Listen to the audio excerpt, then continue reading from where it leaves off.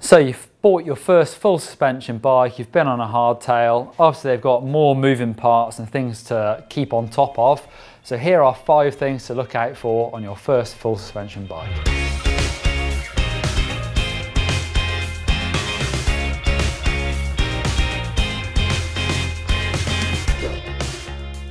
Obviously one of the biggest differences with your new bike to the, compared to the hardtail is this rear shock.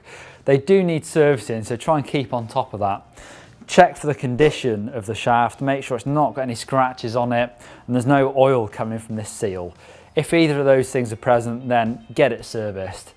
In normal sort of running of the bike, just make sure it's nice and clean and you don't let mud and dirt build up around that seal. Shocks have bushes in the ends where they mount to the frame. They're like plastic sleeves that the bolt goes through and they move around when the suspension moves. So they do wear out. So to check those, really easy way is just to hold the back wheel onto the floor and just pull up on your seat. There shouldn't be any movement or any knocking in there. Or just bounce the bike on the floor and put your finger on that bolt and on the shock. And again, you shouldn't feel any movement. So there's one at the top and one at the bottom on this bike. They're nice and tight, which means the bike's gonna feel nice. The next thing to look at is your suspension setup. And we've done a really advanced video on that exact thing. And the link to that video will be in the description below this video. So check that one out. But simply put, you want to set the sag and the rebound of that shock. To set the sag, I'll use the rubber ring that's on there and slide it all the way up so it touches on the shock's main body and just lower myself onto the bike. So all my weight is going through that rear wheel.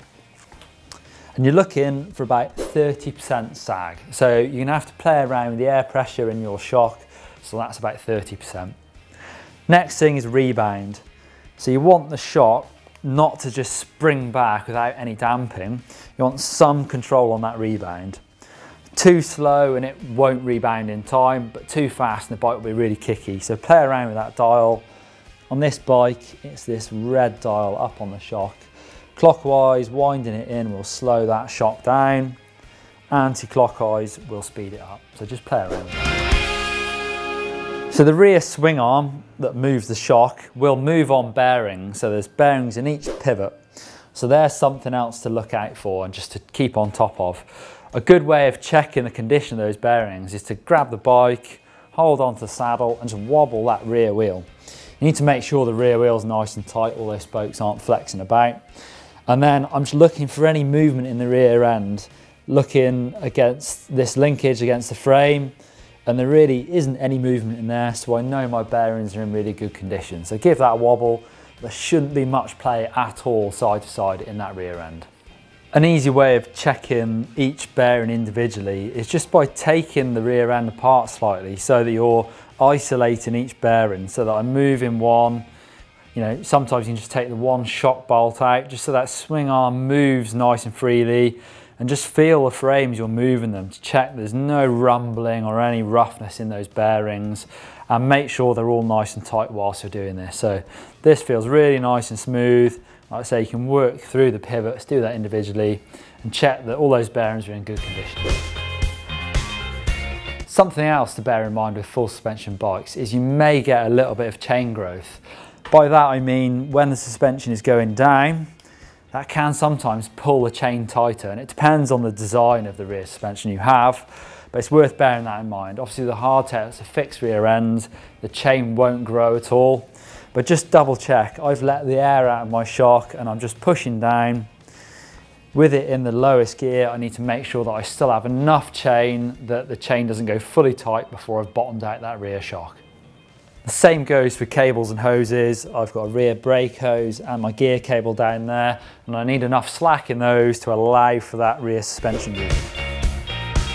And finally, a lot of shocks now have extra technology that are really going to help you out. This RockShox Monarch has got a lockout lever that goes from open to middle to firm and the firmer you have it, the better that bike's gonna pedal. It's not gonna bob around quite so much. So that's really good. If you're doing long climbs, you can whack it all the way up to locked. Sometimes you can have that mounted on the handlebars, so you don't have to reach down to do it. As well as that, my Canyon Strive has this shapeshifter technology that actually moves the geometry from steep which is good for riding uphill, to slack, which is much better for riding downhill. So there you go, there's five things to look out for when you buy your first full suspension bike. And if you found this video useful, give us a big thumbs up down below, that'd be great. And for more videos from GMBN, you can click up here for our suspension setup explain video, or click down here for how to descend like a pro, or click on me to subscribe to GMBN.